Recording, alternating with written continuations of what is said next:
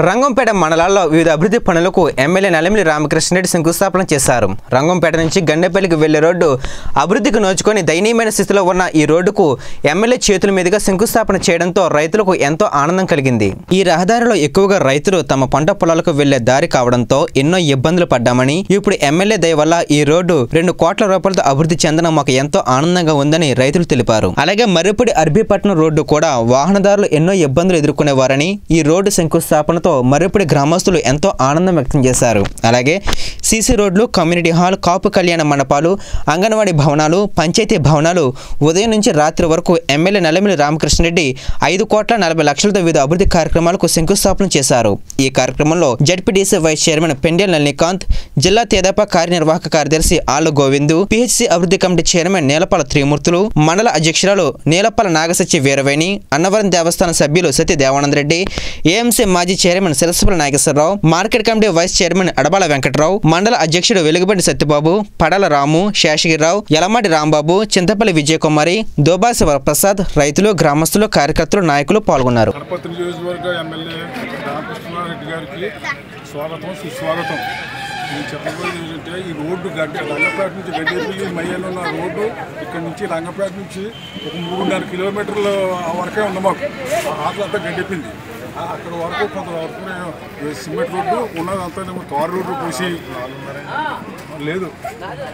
ఉంది కాబట్టి అన్ని చేసి వెంటనే సుమారుగా పద్దెనిమిది సంవత్సరాలు అయింది ఈ రోడ్డు పోయి. ఈ- మధ్యకాలంలో నలభై టన్నుల లారీలు కూడా వచ్చి శుభ్రంగా పోగొట్టేసి ఎవరు వెళ్తలేదు రోడ్డు పురుగు రావట్లేదు.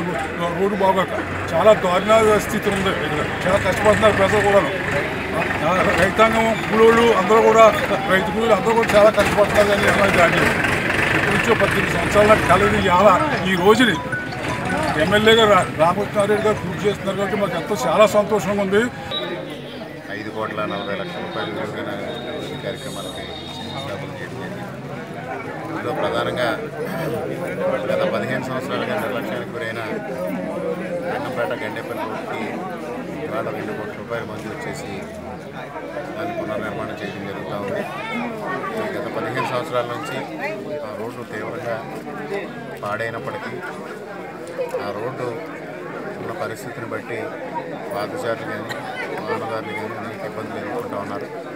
ఆ ప్రాంతంలో ఉన్న రైతాంగం ముఖ్యంగా తీవ్రమైన సమస్యలు ఎదుర్కొంటూ ఉన్నారు కానీ పదిహేను సంవత్సరాలు ఎవరు పట్టించుకునే పరిస్థితుల్లో ఈ సమస్య వెల్లువించిన వెంటనే కేంద్ర శాఖ మంత్రి నారా లోకేష్ గారు స్పందించి ఏడు కోట్ల రూపాయలు మంజూరు చేయడం జరిగింది. అదేవిధంగా మరిపూర్ నుంచి రాయభూపాల్ పట్టణ రహదారి కూడా పరిస్థితిని వివరించడానికి దాన్ని కూడా నారా లోకేష్ గారు కోటి చేయడం జరిగింది.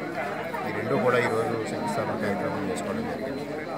అదేవిధంగా కాపు సామాజిక వర్గానికి కళ్యాణ మండపాల కోసం మండలంలో రెండు చోట్ల దొంతమూరు సింగంపల్లి గ్రామానికి ఒక్కొక్కటి యాభై లక్షల రూపాయలు ముఖ్యమంత్రి గారు నిధులు కేటాయించడం జరిగింది. వాటికి కూడా శంకుస్థాపన కార్యక్రమాలు నియోజకవర్గంలో మొత్తం ఏడు చోట్ల కాపు సామాజిక వర్గానికి కళ్యాణ మండపాలకి కోట్ల యాభై లక్షలు మంజూరు చేయడం జరిగింది. దాంట్లో రెండు మండలం